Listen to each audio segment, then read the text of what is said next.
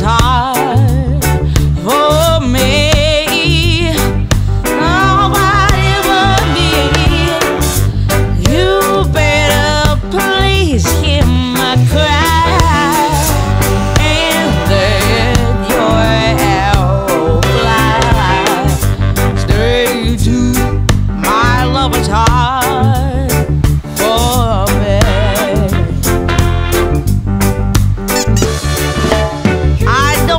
to bother you, but I'm in distress.